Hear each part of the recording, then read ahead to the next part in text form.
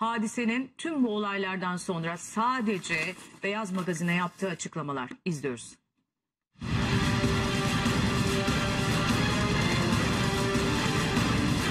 Magazin dünyasını ayağa kaldıran intihar meselesinde çok özel gelişme.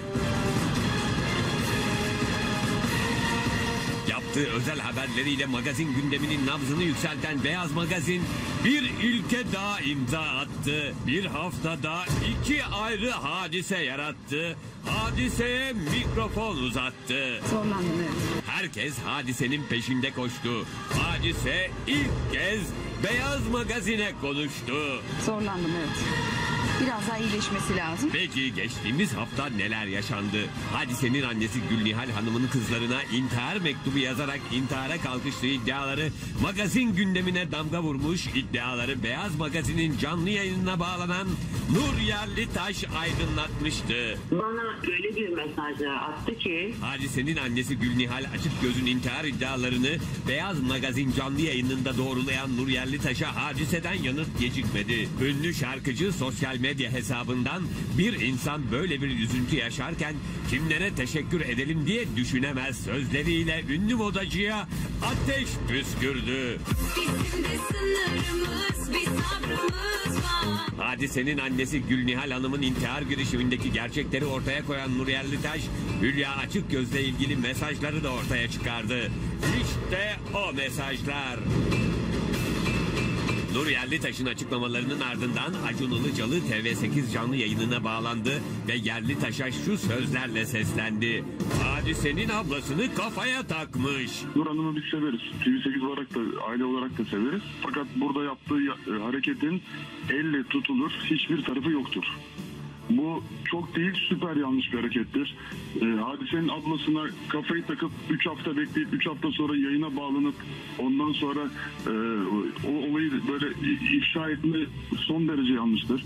Yaşanılan acı olayın ardından duyduğu üzüntüyü dile getiren ünlü televizyoncu Acun Ilıcalı, Nur Yerlitaş'ı yadırgıyorum dedi. Ben buradan e, gerçekten Nur Hanım çok yadırgadım belirtiyorum. Böyle bir şey olmaz. Çünkü konu burada magazin de değil. Sonuç itibariyle bir kadıncağız e, bir sorun yaşamış. Bu sorun da bir şekilde duyulmaması sağlanmış. Sen kalkıp da bunu bütün Türkiye duyurmak için detaylı anlatırsan bunun adı ne dostluktur ne arkadaşlıktır. Bana göre de kusura bakmayın yani son derece yanlıştır. Tüm bu gelişmelerin ardından ağzını bıçak açmayan Nurella'nın güç hesapsız olmaktan geçiyor sözleriyle yaptığı paylaşım düşündürdü. Geçtiğimiz hafta yer yerinden oynadı. Gözler her yerde intihar hadisesiyle gündeme gelen ünlü şarkıcı hadiseyi aradı. Ancak yine Beyaz Magazin ekibi bir özel habere daha imza attı. Havalimanında görüntülediği hadiseye mikrofon uzattı. Bununla ilgili bir tane açıklama yaptım. Daha da fazla bir şey söylemeyeceğim. Ayağındaki sakatlığa rağmen hız kesmeden konser vermeye devam eden hadiseyi Kıbrıs konseri dönüşünde ayağındaki atelle görüntülüyor ve sağlık durumunu soruyoruz. Merhaba Hanım nasılsınız? Merhabalar, iyiyiz. Teşekkürler. Nasıl geçti Kıbrıs konseri? Güzel, her zamanki gibi. Konserlerimiz güzel geçiyor. Şükürler olsun. Döndük. Hala ayağımdaki rahatsızlık devam ediyor ama Evet, geçmiş olsun tekrar. teşekkür ederim. İzleyeni gördük. Nedir peki sağlık durumunuz şu anda? Yani iyi gidiyor tabii ki de ama şu an ben sahnede deli dolu olduğum için Zorlandınız mı bugün de? zorlandım evet. Biraz daha iyileşmesi lazım. Gelecek olan soruların farkında olan hadise bir hayli gergin ama her zamanki gibi kibar ve son derece sakin. Üzgün olduğu dikkatlerden kaçmayan hadise annesi Gülnihal Hanım'ın intiharıyla ilgili konuşmayacağını dile getiriyor. Ser verip sır vermedi. Bununla ilgili bir tane açıklama yaptım. Daha da fazla bir şey söylemeyeceğim. İntihar hadisesinin basında yer almasının ardından ablası Hülya ve kız kardeşi Deniz Açık Gözle de yollarını ayırdığı iddia edilen hadise iddiaları yalanlamıyor. Ancak hala aile olduklarının mesajını şu sözlerle veriyordu. Tekrardan haberler çıktı. Kardeşlerinizle çalışmayı kestiğinizle ilgili. Bu süreçte sanırım çok haber çıkacak. Ee, bu süreçte biz e, yani sizlerden biraz saygı bekliyoruz.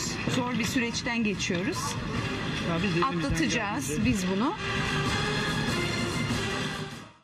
Şimdi çok yıkılmış görünüyor farkındaysanız. Tabii, Sesi üzgün. bile zor çıkıyor yani. Tamam konserden dönüyor yorgunluk vardır. Öyle bir şey değil. Ruhsal bir yorgunluk olduğu çok belli.